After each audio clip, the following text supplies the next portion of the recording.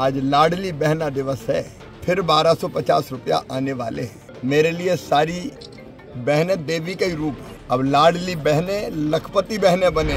आज 10 तारीख है। मध्य प्रदेश के लिए ये तारीख काफ़ी मायने रखती है, क्योंकि हर महीने इस तारीख को लाडली बहना योजना की किस्त हितग्राहियों यानी कि लाडली बहनों के खाते में ट्रांसफ़र की जाती है।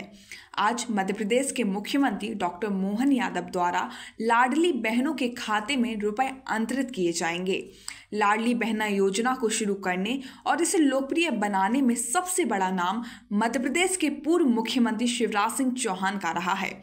मध्य प्रदेश के पूर्व मुख्यमंत्री दो दिवसीय दौरे पर हैं तेलंगाना में। आज पूर्व सीएम शिवराज सिंह चौहान ने तेलंगाना से लाडली बहनों को शुभकामनाएँ दी। उन्होंने क्या कहा, सुनिए। आज 10 तारीख है। मध्य प्रदेश की मेरी लाडली बहनों,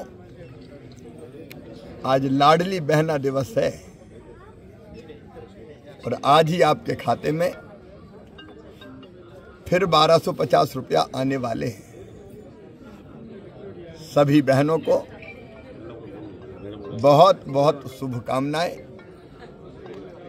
मेरे लिए सारी बहनें देवी का ही रूप है। और महिला सशक्तिकरण मेरे जीवन का मिशन है। अब लाडली बहने, लखपति बहने बने इसके अभियान में मैं जुटूँगा। मैं